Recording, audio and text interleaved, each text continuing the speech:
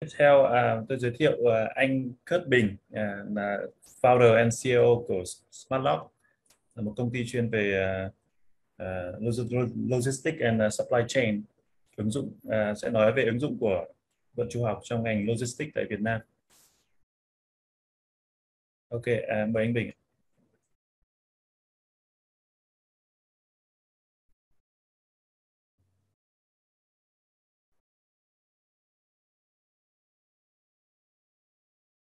Vâng, uh, xin chào các anh chị. Uh, mình rất là cảm ơn uh, Viện Toán cũng như là bên Đại học Fineca chỗ Hoàng có mời uh, mình đến nói chuyện với các anh chị. Thì mình là dân uh, ứng dụng và dân thực tế và và chắc là cũng sẽ có nhiều cái vấn đề mà lúc nãy mình có nghe hôm nay thì rất tiếc là hôm qua mình không có dịp nghe bởi vì hôm qua cuộc họp nhiều quá nên nó không có tham gia được nhưng mà có nhiều bài toán rất là sát với cái thực tiễn mà bản thân mình và và các anh em trong hiện nay và trong tương lai sẽ phải giải.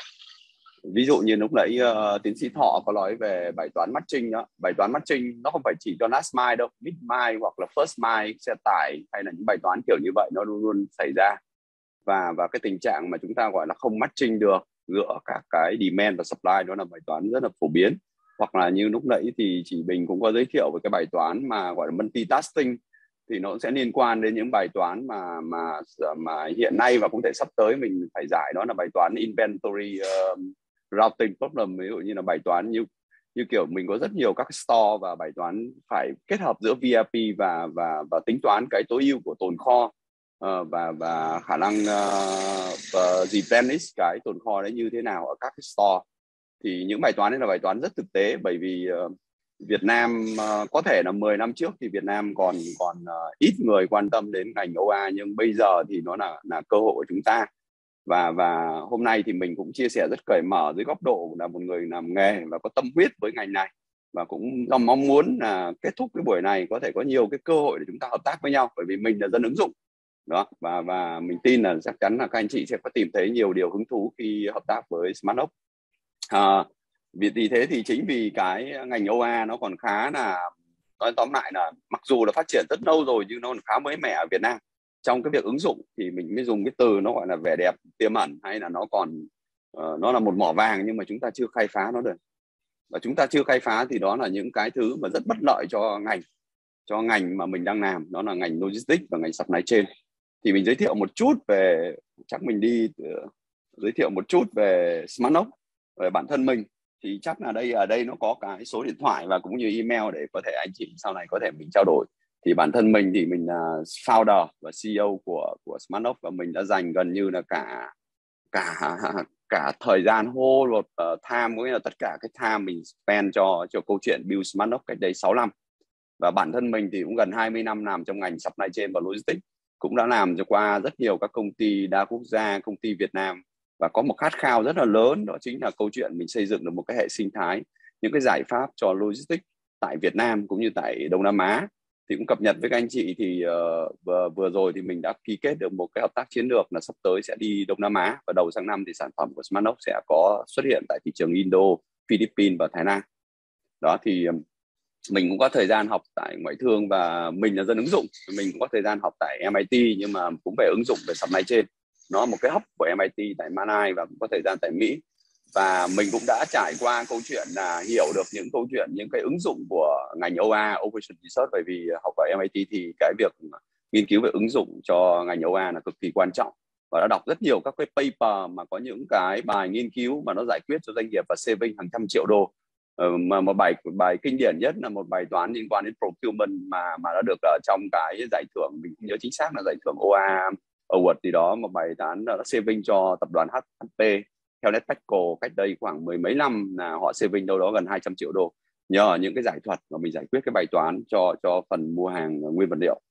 Đó thì uh, mình giới thiệu một chút về SmartNote tại vì nếu như mình không nói về SmartNote thì các anh chị sẽ chưa hình dung là xem SmartNote nó nó nó như thế nào và cái tham vọng và cái mong muốn nó ra làm sao. Thì cũng chia sẻ với anh chị thì uh, khi mình hình thành nên SmartNote thì mình đặt mục tiêu nó là một cái nền tảng và toàn diện, đầu tiên nó phải là toàn diện. Bởi vì ngành logistics chúng ta không thể play một khúc được như như ờ, như chị Bình lúc nãy có nói là chúng ta chỉ giải quyết một phần ờ, của vận tải nhưng mà lại liên quan đến cả phần kho, liên quan đến mạng lưới của rất nhiều các partner. Ờ, chúng ta không thể tối ưu nội bộ mà chúng ta phải tối ưu toàn cục. Nên chính vì thế cái từ toàn diện ở đây có nghĩa là toàn cục. Global optimization đó. Và xác định của mình đó là làm sao nó có một cái độ bao phủ lớn nhất tại tại Việt Nam và Đông Nam Á và chủ trương của mình nó không phải là mình play alone mà mình muốn partner với rất nhiều bên. Và hiện nay thì mình cũng partner với rất nhiều đối tác lớn kể cả những hãng tàu lớn những uh, tập đoàn lớn để mà mình hình thành một hệ sinh thái nó đã có giá trị. Và ngành logistics buộc chúng ta phải cộng tác chúng ta không thể chơi ờ, một mình được. Đó đấy là một cái điểm mà Smart Smartdoc đang đang hướng tới. Và mục tiêu của mình thì trong vòng 5 năm tới mình phải đạt được có ít nhất là 10% thị phần của ngành. Thị phần ở đây là Smart Smartdoc làm gì thì chắc là em đi một chút để cho mọi người hình dung thì ờ, uh, SmartOp là xây dựng một nền tảng về mặt công nghệ. Nền tảng về mặt công nghệ nó có ba nhóm mà SmartOp đang hướng tới. Thứ nhất là SaaS nghĩa là software as a service đó. Ờ, có nghĩa là mình cung cấp các cái giải pháp về hệ thống uh, để giúp doanh nghiệp quản trị cái hoạt động logistics như quản trị kho hàng quản trị vận tải và người ta gọi là supply chain execution đó. Và và và quản trị giao nhận đó. Và nó kết hợp với những hệ thống IoT để mình cung cấp được dữ liệu real time và cũng tự hào với các anh chị là hiện nay mình có khoảng 16.000 xe đang chạy real time và mình có một lượng dữ liệu rất lớn. Và câu hỏi đặt ra là cái dữ liệu ấy dùng để làm gì? Nó nó có giá trị gì không? Thì mình tin là nó có rất nhiều giá trị nhưng chúng nhưng mà chúng ta vẫn chưa khai thác hết được. Và hiện nay thì trên nền tảng của mình cũng có hơn 100 chủ hàng lớn là những công ty lớn tập đoàn kể cả ở Việt Nam và nước ngoài cũng tham gia vào cái hệ sinh thái này. Uh, SaaS là cái nền móng và trên SaaS thì mình cung cấp một cái nền tảng nó gọi là last là logistics as a service. Đó là những nền tảng về matching. Matching hiện nay thì mình mới làm matching về về vận tải nhưng tương lai sẽ matching cả về kho về nhu cầu của cá nhân cũng như nhu cầu của doanh nghiệp. Bởi vì mình chỉ có nhu cầu chứa một hai khối hàng hoặc một hai à, mét vuông hàng thì chúng ta vẫn hoàn toàn có thể sử, sử dụng cái nền tảng để chúng ta kết nối. Và rất may là SmartHub cũng đã xây dựng được cái cái cái cái nền tảng nó cũng khá là uh, uh, mạnh tại Việt Nam và ngoài ra thì uh, trong ngành logistics thì các anh chị đều thấy đó là container. Nó liên quan đến lượng lượng container hàng chục triệu container đang moving ở thị trường Việt Nam. Nhưng nó rất lãng phí nó rất lãng phí ờ, bởi vì những container mà chạy rỗng hoặc những xe tải chạy rỗng đó chính là những thứ không tạo ra tiền. Nhưng chúng ta lại thiếu những công cụ và thiếu cái cách thức để chúng ta hợp tác với nhau. Và em chia sẻ thật là bản thân trong ngành logistics chúng ta không thể play alone. Chúng ta phải play giữa các hệ sinh thái và giữa các nền tảng và kết nối với nhau đó tính đấy là cái hướng mà Smartop đang làm tới nền tảng về last. Và thậm chí là mình còn phải mở rộng ra lĩnh vực tài chính, có nghĩa chúng ta có thể financing cho tất cả các partner tham gia vào câu chuyện này. Thì cũng rất may là Smartop cũng đã hợp tác được một vài đối tác tài chính lớn của nước ngoài để tham gia vào hỗ trợ tài chính cho cái nền tảng mà Smartop cung cấp. Và cơ sở lớn thứ ba đối với logistics hay supply chain đó là planning thực ra trong ngành logistics mọi người nói chi phí logistics cao nhưng mà chi phí logistics cao không phải vì hạ tầng và không phải vì câu chuyện của cái xe chi, chi phí một cái chuyến xe không phải là quá quá đắt. Nhưng nó nó đắt ờ, tất cả nó tốn kém bởi vì chúng ta planning quá yếu. Chúng ta thiếu những công cụ để chúng ta planning một cách hiệu quả. Thì nó có hai yếu tố. Yếu tố thứ nhất là độ phức tạp nó tăng lên và dẫn tới người planner không không đủ khả năng để có thể planning được một cái hoạt động một cách hiệu quả. Inventory chúng ta bốc quá dư chúng ta đặt hàng quá nhiều hoặc là chúng ta điều xe không hợp lý tất cả những câu chuyện đấy nó là những cái lãng phí lớn và nó nằm ở phần planning. Thì ờ, uh, SmartOp có build một cái nền tảng tiếp theo đó chính là SCS có nghĩa là supply chain as a service. Nó tập trung vào planning và planning này nó phải kết hợp với cái giải thuật và kết hợp với dữ liệu. Chúng ta có dữ liệu bây giờ chúng ta có dữ liệu nhiều hơn rồi chúng ta dày hơn rồi nhưng chúng ta không khai thác để chúng ta biến nó trở thành những cái thứ giá trị thì rất là lãng phí thì đấy là cái cái cái cái mà Smartdoc đang làm. Và cũng chia sẻ với anh chị là rất may là hiện nay thì trên thị trường thì có rất nhiều các doanh nghiệp và startup khác cũng như là doanh nghiệp công nghệ đang tham gia vào thị trường này. Và nó là nó là một motivation rất lớn cho câu chuyện là tương lai logistics và OA hay là những ngành vận chủ học hay là ngành AI nó phải đi với nhau như những cặp bài trùng. Và chúng ta phải đi sát với nhau. Ờ, và cũng rất may là hôm nay thì mình cũng nghe cái buổi hội thảo hôm nay thì mình có nghe một vài bài của các anh chị nhưng mình thấy nó là những thứ mà mình có thể đem ứng dụng được. Những vấn đề đặt ra là ai là người có thể kết nối cái chuyện đó và ai là người có thể nói cho những à, học giả ở đây những vấn đề để học giả giải quyết. Đó mới là câu chuyện mà Smartop đang đang đang đang cùng với anh chị à, có thể là một trong những đối tác có thể làm được việc đó. Thì đây là một số khách hàng mà để chia sẻ với các anh chị là uh, thấy là mình uh, mình không chỉ nói mà mình đã làm và mình làm khá là kiên nhẫn và bền bỉ. Mặc dù Smartnote thì cũng có rất nhiều các cái um, đại gọi các anh chị cũng nghe uh, khá nhiều về Smartlock uh, về mặt gọi là uh, ưu điểm và nhược điểm. Tuy nhiên thì bên mình vẫn tiếp tục đi lên và tiếp tục uh, phát triển và đang acquire thêm rất nhiều các khách hàng lớn đối tác lớn. Và những khách hàng lớn thì này problem nó lại càng phức tạp. Và những problem phức tạp đấy là cơ hội cho cho OA cho ngành vận chủ cho ngành AI để tham gia vào giải quyết nó. Thì uh, trên đây là những số một số khách hàng mà mà SmartOx uh, ờ, đang cung cấp ở phía các chủ hàng những nhà sản xuất những doanh nghiệp sản xuất. Và đây là những công ty logistics lớn cũng là đối tác và những là khách hàng mà đang sử dụng cái nền tảng này. Đó, dạ, đó và đến bây giờ thì như các anh chị thấy hơn 100 kho hàng hoặc hơn 3.000 hấp 3.000 hấp là tức là các kho hàng nhỏ đang đang chạy trên nền tảng và vừa nãy thì anh Thọ có nói về VNPost hay những hay là Viettel Post thì họ cũng là đối tác của Smartop và mình cũng đang phải giải rất nhiều bài toán liên quan đến pick up và delivery của những người delivery man. Bởi vì cách phân bổ của delivery man hiện nay cũng không hiệu quả và không tối ưu. Đó cũng đấy là những cái thách thức mà những doanh nghiệp như last mile những doanh nghiệp e-commerce họ cần phải đối diện. Về về mặt uh, kho và về mặt vận tải thì đó đấy là một số cái chia sẻ uh, về Smartop uh, ờ, để các anh chị hình dung là mình có đủ cái ờ, tạm gọi là đủ không gian đủ cái thách thức để mình uh, uh, kết hợp hoặc là hợp tác với các anh chị để giải quyết các bài toán lớn của ngành logistics. Và và và hy vọng là chúng ta sẽ có cơ hội. Thì em đi một chút hơn vào các cái chủ đề là câu hỏi là ngành logistics nó lớn cỡ nào và nó đang OS như thế nào đúng không? Và nó đang gặp phải những vấn đề gì?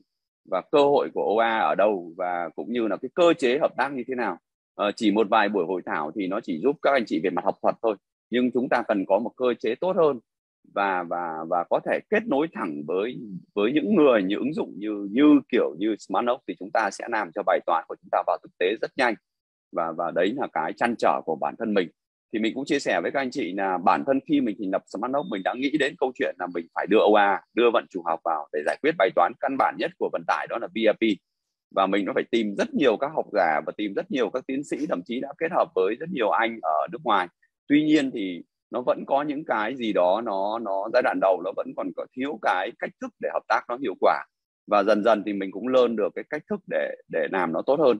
Thì thì cũng cập nhật với các anh chị hiện nay thì Smartlock cũng có một team AI à, team gọi là team giải thuật tuy nhiên cũng mới chỉ là giai đoạn ban đầu và mình kỳ vọng là phải hợp tác nữa mạnh hơn nữa và nó có thể mở rộng hơn và nó thể tạo ra những giải pháp nó powerful và nó adapt được với cái thị trường của Việt Nam. Thị trường ờ, Việt Nam thì về tiềm năng của thị trường logistics thì nó nó nó xuất phát từ ba yếu tố mà mình nghĩ ngành OA cần phải quan tâm. Bởi vì thứ nhất nó là một cái thị trường rất rộng lớn uh, nó có một cái size đủ lớn hàng tỷ đô đang lãng phí uh, và thứ hai nữa là bản thân thị trường đang đang playing một cách hiệu quả rất thấp. Uh, các doanh nghiệp đang vận hành nó không có dự không có những dữ liệu chuẩn chỉ mà dữ liệu rời rạc và nó được sử dụng bằng những phương pháp rất thủ công.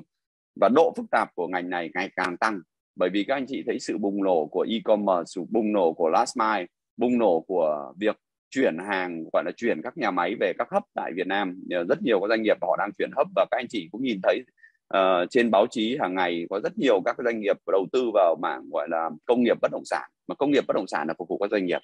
Và cái mạng lưới đấy nó làm ngày càng phức tạp thì nó nó là cơ hội cho những người có thể giải quyết được những cái sự phức tạp này và biến nó thành những cái giá trị. Thì nói một chút về về về ngành thì em cũng không cần phải nói sâu nhưng mà nó là hàng chục tỷ và chi phí logistics của Việt Nam là cao. Cái đấy là phải thừa nhận. Con số 10, 20 hay 18 hay 15 thì chúng ta cũng rất cao so với nước ngoài bởi vì ờ, chúng ta rất yếu trong công đoạn planning chúng ta rất yếu trong công đoạn ứng dụng công nghệ ứng dụng tất cả những thứ nó có thể facilitate nó nâng cao năng suất và nó giảm thiểu các cái lãng phí thì chúng ta đang rất yếu. Và nếu các anh chị nhìn vào ấy, thì ở đây có mấy ngành mà nó đang ảnh hưởng. Ví dụ như ngành vận tải và ngành kho vận đó là những ngành mà nó hàng chục tỷ đô đang nằm ở đó. Và kể cả tồn kho cũng vậy đó là inventory. Mà inventory càng nhiều thì chi phí càng cao. Đó là một cái câu chuyện mà mình cũng đã từng gặp những doanh nghiệp mà họ book uh, nguyên vật liệu vô tội vạ và thậm chí khi chỉ cần nhìn nhanh không cần phải giải thuật gì cả mình có thể saving hàng hàng chục tỷ. Với cái việc là họ chỉ cần gì design lại cái process làm planning thôi. Đó và chưa kể nào họ nếu mình đưa giải thuật vào hoặc mình đưa những phương pháp về ờ, AI và cũng kết hợp với dữ liệu thì mình còn saving được nhiều hơn nữa. Nên mình nói ngành AI là ngành đem lại giá trị thực sự chứ không phải đem lại giá trị gọi là định tính mà nó là định lượng rõ ràng thì tí mình cũng chia sẻ một vài câu chuyện để các anh chị hình dung. À, và nói về về những cái cái vấn đề mà ngành OA có thể tham gia vào giải quyết hoặc là AI có thể tham gia vào giải quyết thì mình nhìn thấy toàn bộ chuỗi cung ứng. Nếu các anh chị nhìn vào chuỗi cung ứng là end to end nó từ supplier đúng không ạ? Mình mua raw material mình đưa vào nhà máy mình đưa vào kho nguyên vật liệu xong mình đưa vào nhà máy để sản xuất sản xuất xong mình lại phân phối sang các cái kho tổng. Từ kho tổng mình đẩy sang các cái hub. Và từ các hub mình lại đẩy sang các hub micro hub nhỏ hơn bởi vì e-commerce thì nó cần các cái micro hub và sau đó mình giao hàng đến những cái store những người dùng cuối. Toàn bộ cái chuỗi cung ứng này nó nó đang play around và uh, không được hiệu quả và không có tính kết nối. Và hiện nay ấy, vì do chúng ta tập trung nhiều vào last mile mọi người nói nhiều về last mile nhưng thực ra cái first mile hay mình gọi là cái upstream của supply chain nó mới là vấn đề. Thực ra các doanh nghiệp gần như ít quan tâm đến upstream lắm họ ít quan tâm đến đến đến đến inventory lắm, họ cứ chỉ quan tâm đến giá rẻ là họ mua, nhưng mà cái trade off của họ là tồn kho quá nhiều và dẫn tới cái lượng write off quá lớn. Và nó là những cái sự lãng phí mà các doanh nghiệp ít khi để ý. Và bản thân mình khi mình đi làm với các doanh nghiệp, mình cũng thấy họ họ đang có những cái lỗ hỏng như vậy. Thì ở đây mình nhìn thấy rất nhiều câu chuyện mà ngành OA có thể tham gia vào, từ việc inbound, mua nguyên vật liệu là bài toán, mua nguyên vật liệu bao nhiêu là đủ và mua với ai và optimize như thế nào. Nó gọi là procurement và quản lý nhà cung cấp ra làm sao và optimize được cái service level của nhà cung cấp cũng là một câu chuyện. Rồi quá trình vận chuyển thì các anh chị biết rồi, những bài toán liên quan đến VRP VRP với rất nhiều các đặc thù. Rồi những bài toán new run, những bài toán về procurement, optimization trong transport mà lúc nãy chúng ta có có nghe đến là những bài toán liên liên quan đến câu chuyện là chúng ta có rất nhiều các nhà thầu vận tải. Tuy nhiên thì chúng ta phần lớn thói quen của chúng ta để đơn giản thì chúng ta chỉ chọn một, hai nhà thầu, bởi vì chúng ta ngại trong câu chuyện phân tích dữ liệu và tìm ra những câu chuyện tối ưu hơn để chúng ta có thể lựa chọn nhiều hơn các nhà thầu. Và total cost chúng ta bỏ ra thấp hơn thì cái bài toán đấy gần như ở Việt Nam chưa ai giải và họ họ đi theo các cái lề lối truyền thống. Rồi bài toán về mạng lưới phân phối, bài toán về network, chúng ta xây bao nhiêu kho là đủ, đặt kho ở đâu? Thực ra các doanh nghiệp Việt Nam rất ít quan tâm chuyện đó, họ chỉ quan tâm đến thói quen à nó đặt gần thành phố là ok nhưng chỉ cần đặt sát hơn thành phố có khi bài toán lại hiệu quả hơn so với việc chỉ đặt cách đó khoảng vài cây số. Rồi bài toán về demand forecast hoặc prediction chúng ta bắt đầu có dữ liệu nhiều hơn. Ngày trước thì các doanh nghiệp mà họ làm planning họ đều dựa, dựa trên những dữ liệu rất thô khoảng vài tháng gọi gọi là demand forecast. Mà demand forecast hay là sale forecast họ làm rất simple và gần như họ không không ờ, và nó tạo ra một cái sự lãng phí. Bởi vì khi demand mà nó nó fluctuate so với cái forecast thì nó, câu chuyện là doanh nghiệp gọi là cuống cuồng lên để giải quyết cái bài toán gọi là supply cái demand đó. Và mình gặp ở trong ngành FMCG thì các anh chị cứ cuối tháng thì hàng bắt đầu pick lên và đầu tháng thì tất cả ngồi chơi và nguồn lực đấy là dư dội, dư rảnh và chẳng làm được gì cả. Đó là những cái thứ mà mình nhìn thấy và mình rất là đau xót.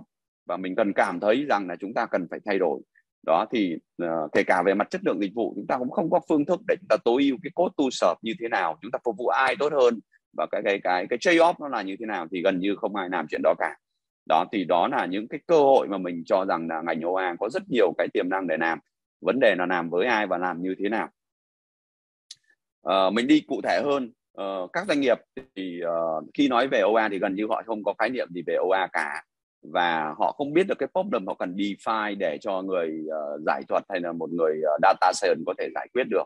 Và phần lớn chúng ta phải thông qua một người phiên dịch như Smartlock chẳng hạn. Như Smartlock thì mình có những bạn có thể hiểu được cái problem đấy và translate nó thành những ngôn ngữ để các anh chị uh, giải thuật hoặc là những anh chị data science có thể giải quyết được. Thứ hai nữa là hiện nay tại thị trường thì phần lớn mình biết là các trường cũng có hợp tác với một vài công ty nhưng cái đấy là những hợp tác rất manh mún và nó nó nó thiếu cái tính hệ thống và nó thiếu khả năng scale. Ngành OA phải scale, chúng ta phải nhìn thấy một cái scale lớn, chúng ta không thể làm những scale nhỏ. Tất nhiên những scale nhỏ đó chính là chúng ta giải quyết vấn đề cụ thể, nhưng sau đó chúng ta sẽ scale nó lên.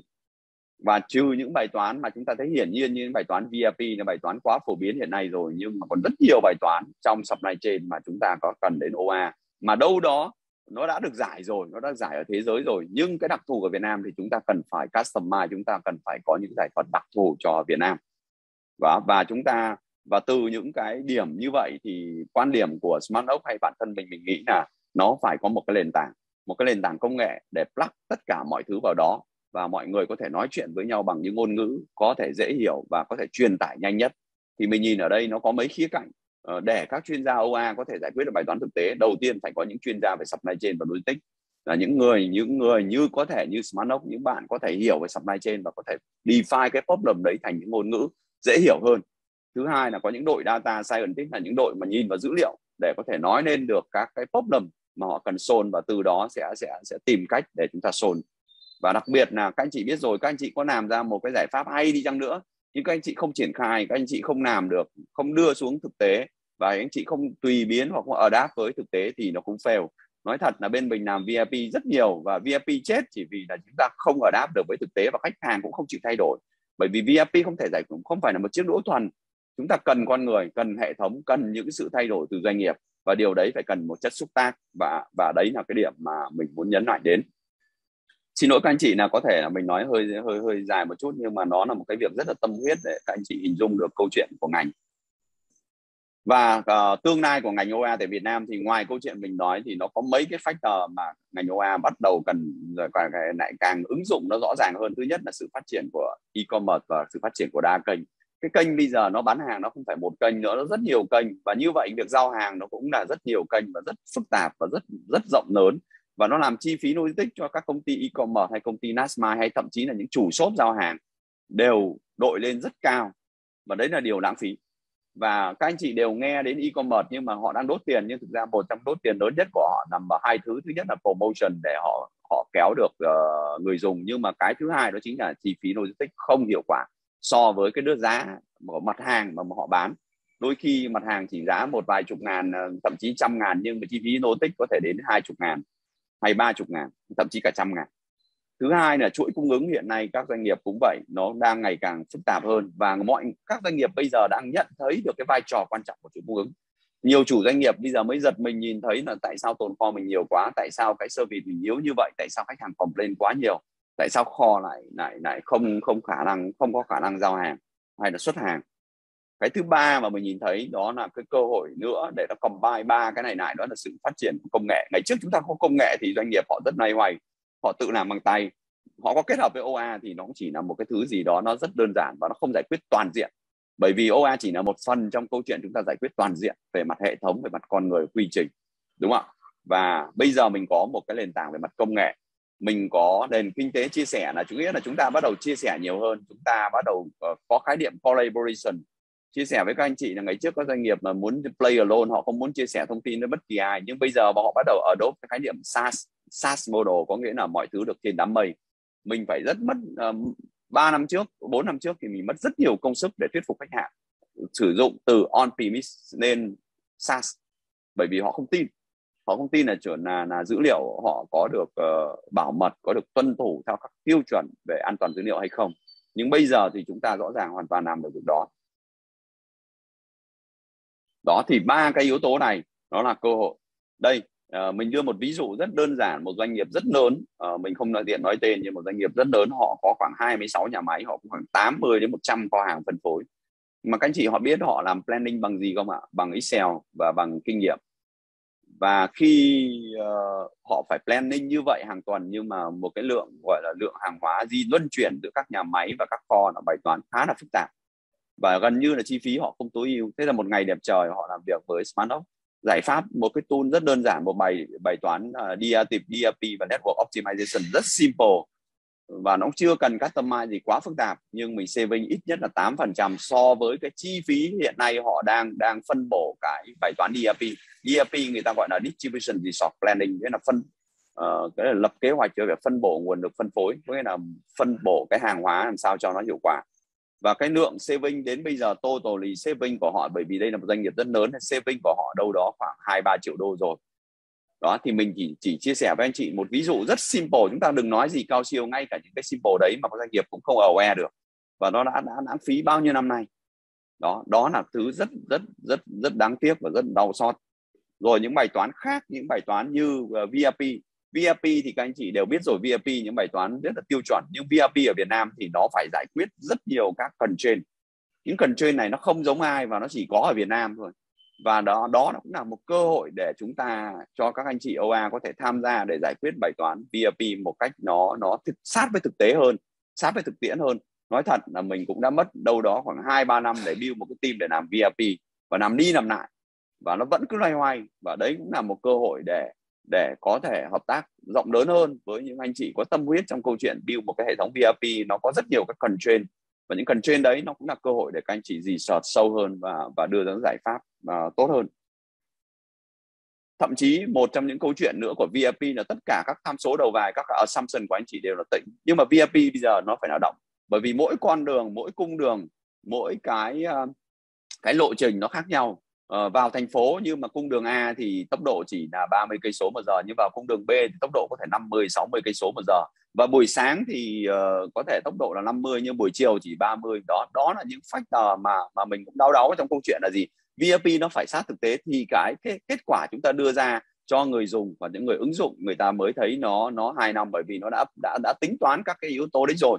Nhưng VIP hiện nay chúng ta vẫn đang tính yếu tố tĩnh và mình tự tin bởi vì rất đơn giản mình có dữ liệu mình có dữ liệu rất nhiều, dữ liệu về việc di chuyển trên đường, việc xe tải, tuyến đường nào xe tải được vào, tuyến đường nào xe tải không được vào, tốc độ xe tải đi bao nhiêu, rồi kể cả những cái cập nhật về vấn đề giao thông, rồi kể cả những vấn đề về hành vi của người nhận, người giao. Bởi vì cái việc hành vi của người nhận mà làm cho mình phải chờ quá lâu chẳng hạn, nó cũng ảnh hưởng đến câu chuyện loading và unloading time của bài toán VIP thì hiện nay đấy cũng là một cái mà chúng ta cần phải kết hợp với những dữ liệu real time những dữ liệu thực tế và gọi là tạm gọi em tạm gọi nó là ờ, uh, AI cái phần đó hay machine learning những cái dữ liệu đó và đưa nó vào những input cho VIP nó trở lên sát với thực tế hơn. Và em tin rằng nếu chúng ta làm những câu chuyện như này chúng ta giải quyết cực kỳ lớn cho ngành. Mà các anh chị nếu nhìn vào vận tải nó 24 tỷ và ngành vận tải đường bộ nó đâu đó khoảng 18 tỷ chỉ cần 5% hay 10% saving đấy thì các anh chị nhìn thấy con số nó kinh khủng như nào cho một ngành và chúng ta đóng góp cho xã hội chúng ta giảm thiểu cái carbon nó nằm ở đấy đấy chứ không phải nằm ở đâu hết á và nó nằm ở từng doanh nghiệp mà họ ứng dụng tốt được cái công cụ này. Đó thì đấy là một điểm nữa thì mình cũng chia sẻ với các anh chị.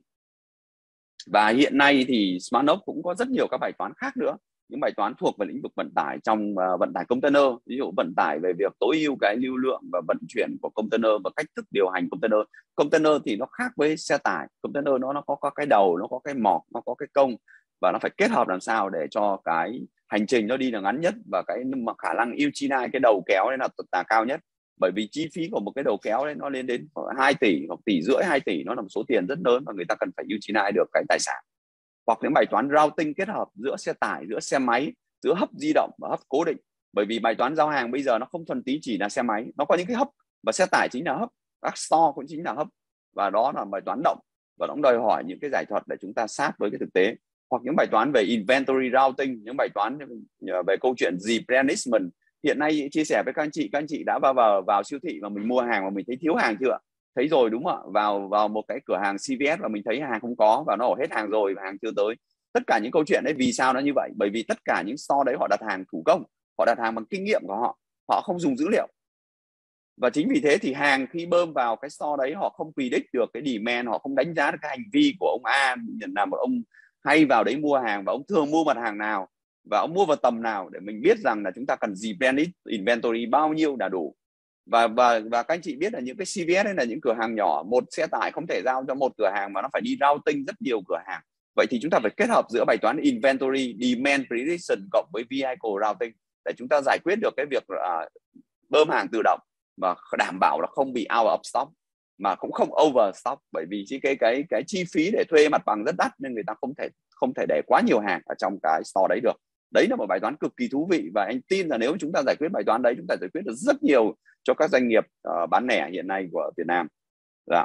và ngoài kể cả những bài toán về warehousing hiện nay mà warehousing ở Việt Nam nó khác với nước ngoài là warehousing ở Việt Nam phần lớn chúng ta làm thủ công cái bài toán slotting trong kho bài toán để hàng ở đâu để chúng ta pick ra nhanh nhất và ít tốn thời gian nhất cũng là bài toán mà hình như không ai quan tâm lắm. Họ phần lớn họ cũng làm bằng kinh nghiệm. Họ để hàng ở những vị trí rất cố định. Nhưng các anh chị để ý thì Amazon họ làm là họ để hàng ở uh, các mặt hàng để tứ tung nhưng mà nó lại có logic. Nó có logic bởi vì mặt hàng uh, tã bỉm chắc chắn sẽ đi cùng với sữa chẳng hạn như vậy. Bởi vì chắc chắn người ta mua tã bỉm người ta sẽ mua sữa.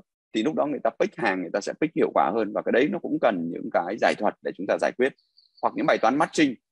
Vì chúng ta là nền kinh tế chia sẻ, matching nó sẽ còn tiếp tục bùng nổ và nó phải cần có những cơ chế như lúc nãy anh Thọ có một bài mà mình rất, mình cho rằng rất là thú vị, đó là matching làm sao để maximize được cái profit và nó cũng như là giải quyết được cái thời điểm peak time.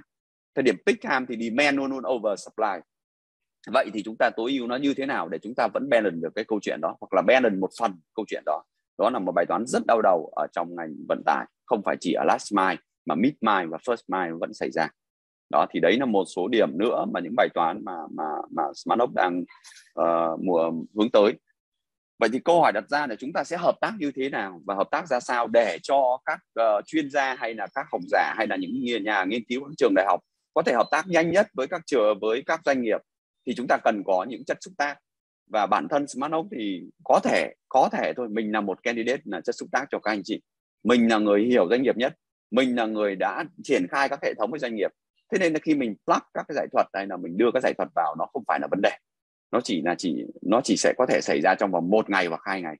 Thì câu chuyện ở đây mình mình mình đề xuất mấy điểm như sau. Thứ nhất, chúng ta cần nhìn OA như là một này loại dịch vụ. Mình đề xuất khái niệm gọi là ORAS nghĩa là OA as a service. Nghĩa là các anh chị có thể có một giải thuật, anh A có, anh A có một giải thuật rất hay, anh B có một giải thuật rất hay và tôi sử dụng anh của anh nào thì tôi pay as a service đó và cái đấy nó sẽ vừa motivation mọi người có những dạng cái cải thiện tốt hơn và vừa uh, đem lại cái hiệu quả về mặt thu nhập.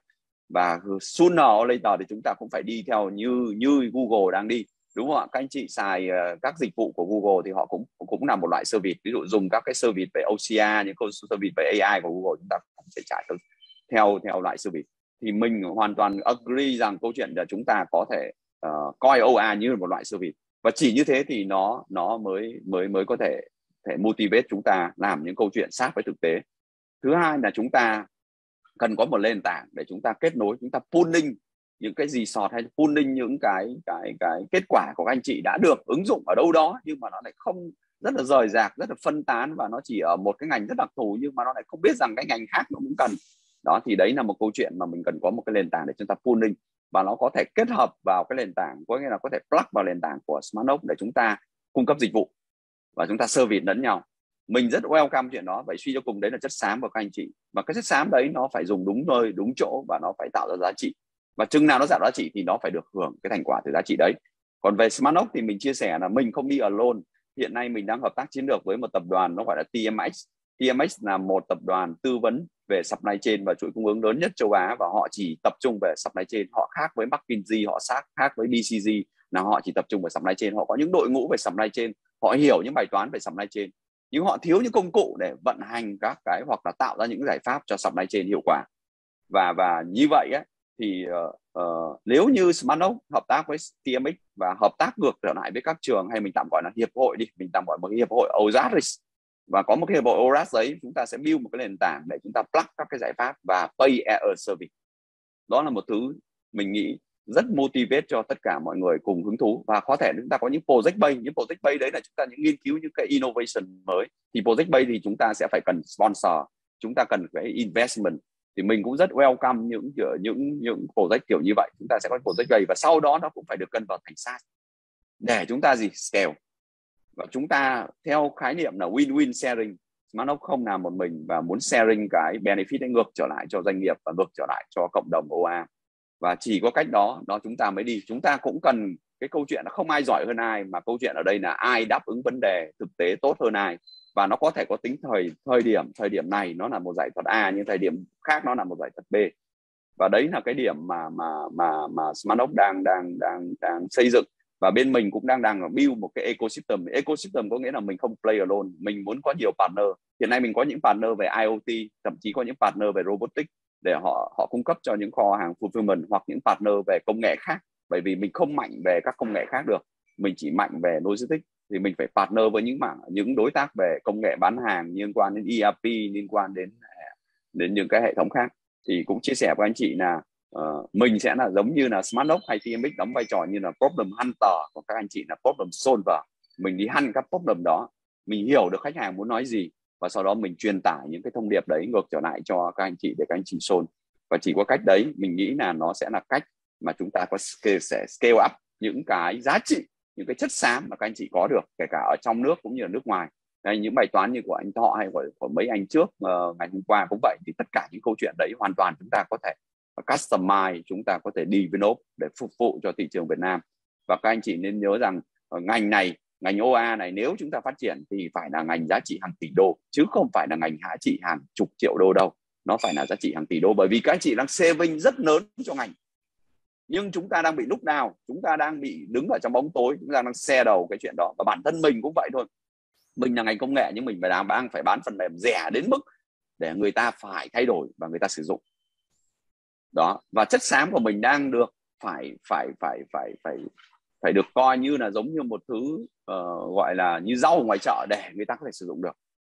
Nhưng lúc đó thì tất cả anh em mình hay tất cả những cộng đồng của chúng ta sẽ nhìn là quy mô lớn. Chúng ta không nhìn là quy mô nhỏ hay là nhìn là một vài doanh nghiệp. Bởi vì một ngày doanh nghiệp không đủ giải quyết được cả câu chuyện của ngành này. Đó thì uh, đấy là điểm mà mình cũng rất là mong mỏi. Và bản thân mình là người tâm huyết và mình rất là đau đáu câu chuyện là chất xám chúng ta đang lãng phí và chúng ta cần làm cái việc đấy make một cái big thing bằng cái small thing. Và rất là welcome cái sự hợp tác và rất là rất là cảm ơn cái buổi hôm nay. Nó là một cái buổi khởi đầu cho câu chuyện của ngành OA biết đâu được nó sẽ là một khởi đầu mới cho ngành OA và bản thân Smartnox sẽ góp phần cam kết là góp phần vào trong câu chuyện đó. Vâng xin cảm ơn uh, các anh chị đã lắng nghe uh, bài trình bày hôm nay. Vâng em à, cảm ơn anh Bình. Một bài nói rất thú vị à, rất uh, motivational à, thì có ai có câu hỏi nào không nhỉ chúng ta chắc là có thời gian cho một câu hỏi nhanh thôi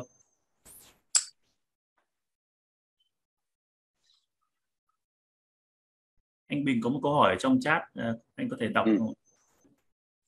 Ờ, ờ, tôi có muốn đặt câu hỏi với anh Bình khi Smartdoc phát triển lời giải cho khách hàng thì để mô hình hóa bài toán thì bên Smartdoc cần có người am hiểu lĩnh vực đó đúng không? Ờ, đó không? Ờ, khách hàng uh, hay chủ yếu là khách hàng cung cấp domain specific understand. Uh, không uh, cái này mình trả lời luôn là phần lớn khách hàng họ thậm chí họ không biết problem họ là gì. Nên là cái cái hay của của của mình ấy mình là dân supply chain và mình cũng đã hiểu được ứng dụng của OA và team của mình các bạn là những người logistics những người supply chain họ hiểu sâu cái câu chuyện đó và họ có thể mô hình hóa hay tạm gọi là mô hình hóa một cách đơn giản nhất để thành ra một bài toán thì phần lớn là những người của Smartnox sẽ làm việc đó. Còn khách hàng chỉ nói đơn giản thôi. Tôi muốn làm sao cho cái xe này nó chạy nó hiệu quả. Đấy là đấy, đấy là cái từ khách hàng nói. Nhưng mà để cái xe này làm hiệu quả có nghĩa là gì? Có nghĩa là chi phí của cái xe này thấp nhất hay là lợi nhuận của cái xe này cao nhất hay là quãng đường xe đi là ngắn nhất. Thì tất cả những câu chuyện đấy là những cái việc những người phiên dịch hay những người của chuyên gia của Smartop sẽ là người làm việc đó. À ok em cảm ơn anh Bình. Có lẽ là sẽ cần à. có nhiều buổi nói chuyện nữa giữa uh, Smartlock với các anh em làm OA thì có thể tìm à. được cơ hội uh, hợp tác. À, dạ. nghĩa là mình mình sẽ move sang cái cái talk tiếp theo vì bây giờ cũng khá muộn rồi. Thì dạ. thì move tiếp theo dạ, là, xin cảm ơn anh chị. Vâng vâng cảm câu hỏi thứ hai của anh anh đăng ạ à, đúng không? Uh, mình mình đọc mình chưa hiểu là smart uh, có lẽ đi từ ngành logistics nên các anh chị có domain specific ở ngành đó. Nếu áp dụng vào lĩnh vực khác thì smart cần chuyên gia cho lĩnh vực đó hay smart muốn tập trung làm platform và kêu gọi các bên thứ ba uh, tham gia về việc uh, cung cấp uh, các các ứng dụng và am hiểu ứng dụng. Uh, mình uh, chia sẻ là bên mình uh, chỉ tập trung vào uh, vào logistics và supply chain. Thực ra nó, nó rộng hơn là supply chain. Nó là một cái platform cho cả supply chain còn tất nhiên mình sẽ không nhảy vào trong lĩnh vực như bán hàng marketing hay những mặt à, những lĩnh vực khác bởi vì những lĩnh vực đấy nó cũng cần OA nó cũng có cần uh, ờ, AI và bản thân bên mình vì đấy là thế mạnh của Smartnox và ngành logistics nó đủ lớn để chúng ta play around rồi. Nó như như các anh chị thấy mấy chục tỷ đô mà chúng ta đang làm đang đang đang spending hàng năm và nó là cơ hội để chúng ta saving. Và quan điểm của mình thì uh, như mình có trình bày ấy, là mình muốn chúng ta hợp tác với nhau dưới góc độ giống như là một loại service đấy và và và và và mình nghĩ là sooner or later thì OA cũng phải đi hướng đó. Bởi vì thực ra các tập đoàn lớn như Google hay những tập đoàn khác mình đang bên mình đang dùng service của họ chẳng hạn, thì ờ, hoặc là những cái AI service của họ thì mình cũng đang phải trả cái chi phí kiểu như thế. Và ngành OA đáng phải phải xứng đáng để để làm được cái chuyện đó. Và chỉ cần là chúng ta cần tạo ra một cái platform và và có thể kết nối hoặc một cái mô hình nào đó, chúng ta pooling được các cái ờ, cái cái cái khả năng, cái, gọi là những cái giải pháp của các anh chị và mà, và mọi người sẽ sẽ vào đó để ứng dụng và và sử dụng. Và tất nhiên thì uh, mình là một trong những đối tác mà có thể là tin cậy uh, rất là tin cậy trong tương lai bởi vì Smartnox không nằm nhỏ. Và nói thật với các anh chị nếu mình nằm nhỏ thì mình không làm. Bởi vì mình chỉ làm với một vài doanh nghiệp mình không làm. Mình làm câu chuyện cả cả ngành. Và mình cần sự chung tay của tất cả mọi người chứ không phải mình. Và thậm chí các anh chị có thể là shareholder của Smartnox chứ không OA tầm, cộng đồng OA có thể là shareholder của Smartnox chứ không phải chỉ là một người cung cấp dịch vụ thuần túy. Và chỉ có như thế thì chúng ta mới đi nhanh và đi xa được đó thì thì cũng chia sẻ với các anh chị như vậy.